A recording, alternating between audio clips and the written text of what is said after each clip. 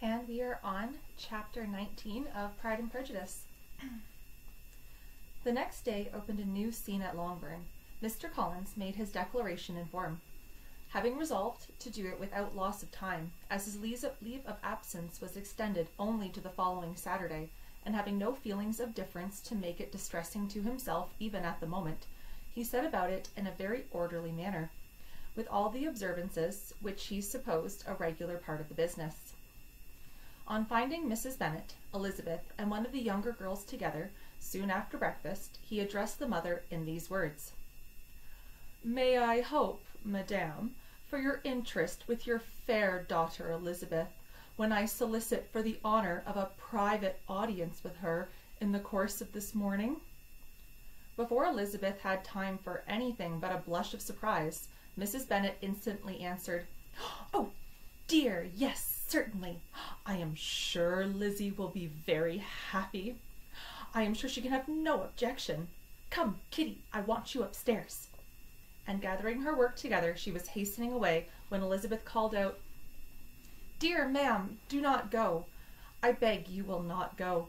Mr. Collins must excuse me. He can have nothing to say to me that anybody need not hear. I am going away myself. No, no, nonsense, Lizzie. I desire you will stay where you are. And upon Elizabeth seeming real, seeming really, with vexed and embarrassed looks, about to escape, she added, Lizzie, I insist upon your staying and hearing Mr. Collins. Elizabeth would not oppose such an injunction, and a moment's consideration making her also sensible that it would be wisest to get it over as soon and as quickly as possible, she sat down again, and tried to conceal by necessary employment the feelings which were divided between the distress and diversion. Mrs. Bennet and Kitty walked off, and soon as they were gone, Mr. Collins began. Believe me, my dear Miss Elizabeth, that your modesty, so far from doing you any disservice, rather adds to your other perfections. You would have been less amiable in my eyes had there not been this little unwillingness. But allow me to assure you that I have your respected mother's permission for this address. You can hardly doubt the purpose of my discourse. However, your natural delicacy may lead you to dissemble. May it my attentions have been too marked to be mistaken. Almost as soon as I entered the house, I singled you out as the companion of my future life. But before I am run away with by my feelings on this subject, perhaps it would be advisable for me to state my reasons for marrying, and moreover for coming into Hertfordshire with the design of selecting a wife, as I certainly did.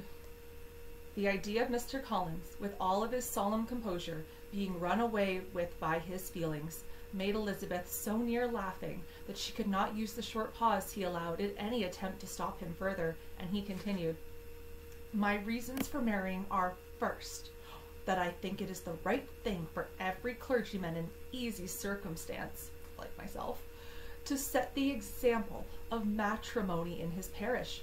Secondly, that I am convinced it will add very greatly to my happiness. And thirdly, which perhaps I ought to have mentioned earlier, that in this particular advice and recommendation of the very noble lady whom I have the honor of calling patroness, twice she has condescended to give me her opinion, unasked too, on this subject. And it was but the very Saturday night before I left Hunsford between our pools at Quadrille, while Mrs. Jenkins was arranging Miss de Bourgh's footstool, that she said, Mr. Collins, you must marry. A clergyman like you must marry. Choose properly. Choose a gentlewoman for my sake, and for your own. Let her be active, useful sort of person, not brought up high, but be able to make a small income go a good way. This is my advice. Find such a woman as soon as you can, bring her to Hunsford, and I will visit her. Allow me, by the way, to observe, my fair cousin, that I do not reckon the notice and kindness of Lady Catherine de Bourgh as among the least of the advantages in my power to offer. You will find her manners beyond anything I can describe, and your wit and vivacity I think must be acceptable to her, especially when tempered with the silence and respect which her rank will inevitably excite. Thus, for much of my much for my general intentions in favor of matrimony, it remains to be told why my views were directed to Longbourn instead of my own neighborhood. Er, I assure you, there is many amiable young women. But the fact is, that being, as I am, to inherit this estate after the death of your honored father, whom, however, may live many years longer, could not satisfy myself without resolve to choose a wife from among his daughters, that the loss to them might be as little as possible when the melancholy event takes place, which, however, as I have already said, may not be for several years. This has been my motive, my fair cousin, and I flatter myself it will not sink me in your esteem. And now nothing remains for me but to assure you, in the most animated language, of the violence of my affection. To fortune I am perfectly indifferent, and shall make no demand of that on your father, since I am well aware that it could not be complied with, and that one thousand pounds in the four per cents, which you will not be yours till after your mother's decease, is all that you may ever be entitled to. On that head, therefore, I shall be uniformly silent, and you may assure yourself that no ungenerous reproach shall ever pass my lips when we are to be married. It was absolutely necessary to interrupt him now. You are too hasty, sir, she cried. You forget that I have made no answer. Let me do without further loss of time. Accept my thanks for the compliment you are paying me. I am very sensible of the honor of your proposals, but it is impossible for me to do otherwise than to decline them.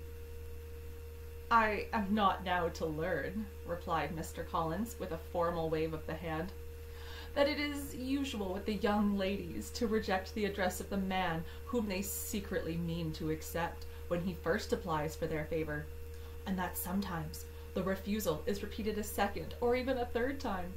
I am therefore by no means discouraged by what you have said, and shall hope to lead you to the altar ere long. Upon my word, sir, cried Elizabeth. Your hope is a rather extraordinary one after my declaration. I do assure you that I am not one of those young ladies, if such young ladies there are, who are so daring as to risk their happiness on the chance of being asked a second time.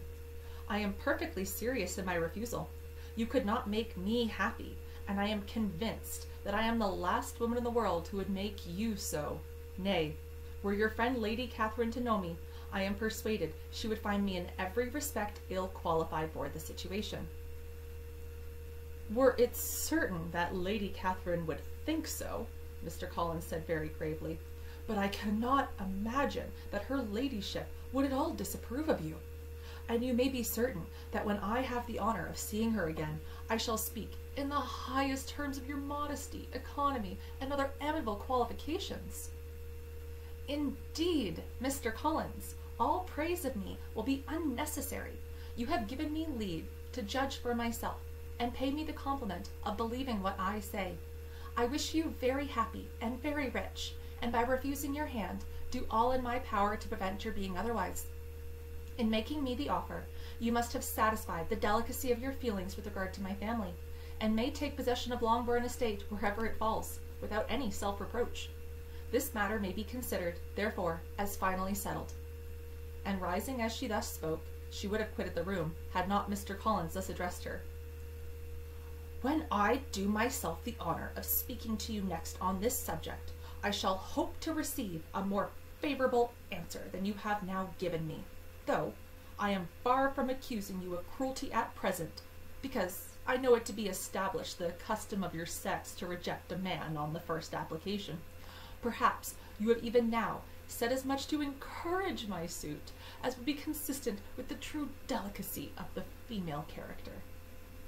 Really, Mr. Collins, cried Elizabeth with some warmth, you puzzle me exceedingly. If what I have here, though, said to you can appear to you in the form of encouragement, I know not how to express my refusal in such a way as may convince you of it being one. You must give me leave to flatter myself, my dear cousin, that your refusal of my regess is merely words of course. My reasons for believing it are briefly these.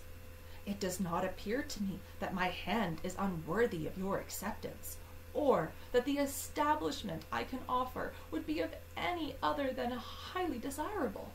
My situation in life, my connections with the family of de Bourgh, and my relationship to your own are circumstances highly in my favor, and you should take into further consideration that in spite of your manifold attractions, it is by no means certain that another offer of marriage may ever be made to you. Your portion is unhappily so small that it will in all likelihood undo the effects of your loveliness and amiable qualifications. As I must therefore conclude that you are not serious in your rejection of me, I shall choose to attribute it to your wish of increasing my love by suspense, according to the usual practice of elegant females. I do assure you, sir, that I have no pretension in what what so what I do assure you, sir, that I have no pretension whatever to that kind of elegance which consists in tormenting a respectable man. I would rather be paid the compliment of being believed sincere, and I thank you again and again for the honor you have done me in your proposals, but to accept them is absolutely impossible. My feelings in every respect forbid it. Can I speak plainer? Do not consider me now as an elegant female intending to plague you, but as a rational creature speaking the truth from her heart. You are uniformly charming, cried he with an air of awkward gallantry, and I am persuaded that when sanctioned by the express authority of both your excellent parents, my proposals will not fail of being acceptable.